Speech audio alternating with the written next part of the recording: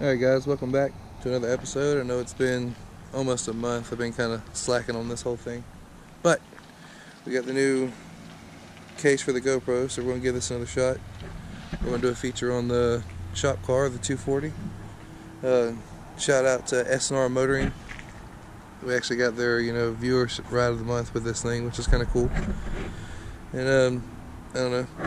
Uh, they said they're going to send me like a dirty brush or something in their video. It's kind of funny. But there's the Supra. Kind of walk through, go around the 240, uh, give a few details on it. My boss is actually thinking about selling it. If anyone wants it, you know, you can reach out and I can get you in contact with him. Uh, also, stickers are available. Five dollars shipped everywhere. So build one more. Uh, they're three and a half inches in diameter, but you know, good sticker. That's the only one we have. So far, we'll get a few more things, and you know, kind of get a store going, I suppose. But one thing at a time. Uh, go over the car real quick. Has Z32 brakes, front and rear, and a Z32 rear diff. Uh, a twin turbo. They're drilled and slotted rotors, look real nice. Got um, the Kiki Design XT 006R wheels all the way around.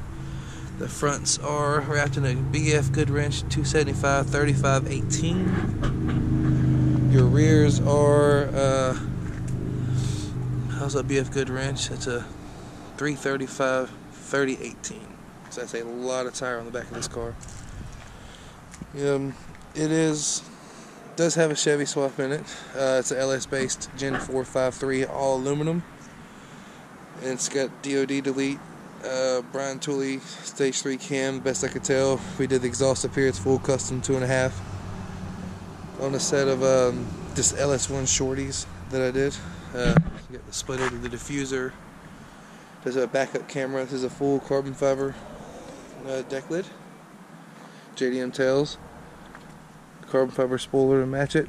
Uh, it's got that visor. It doesn't really fit too well, but it was nice. Alright, so you're looking at the Rocket Bunny kit. This is a knockoff, but it fits pretty great. Uh, quite looking really, really nice. I like these carbon fiber GT style mirrors. It's actually, he asked me, you know, what th I thought would look good, and I chose those. Thought they looked really nice. I'm gonna go to the interior. It is a uh, S14 front seats. Got some DS18 tweeters here, and I forget what's in the door, but they were pretty nice.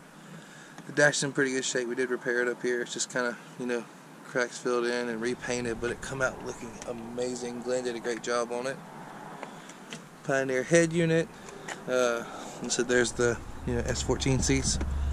Sundown audio is that 15 or 18? I can't remember which. And then we got two eights, uh, which we have put carpet on the front side of the box. It look real nice. Um, this is very very loud. It sounds awesome. Your switches there for the radio, and there is nitrous on the car, but it's not like hooked up. It's just kind of there underneath the engine bay, and that's to arm all the solenoids and everything. Never seen these on another 240, but I thought they looked great carbon fiber hood. Of course, the Auto Masters logo is all over it. There's a shop that we work at. Been here for a long time. Hood, headlight, covers. That guy. Alright. So we'll go under here and kind of give you an idea what the motor looks like.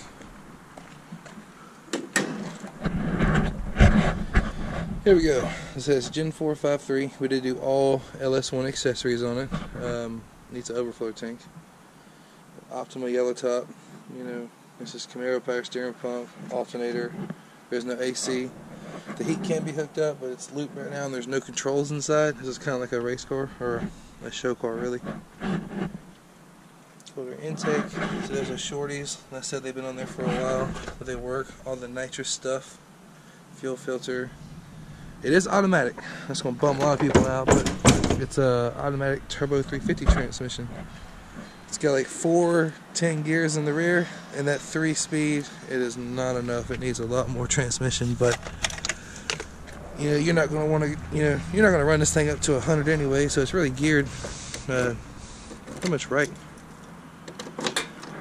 The angle's crap. I'm trying to do this one-handed.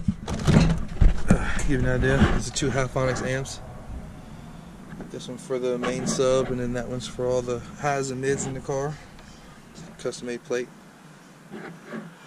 Looks really, really nice. Alright.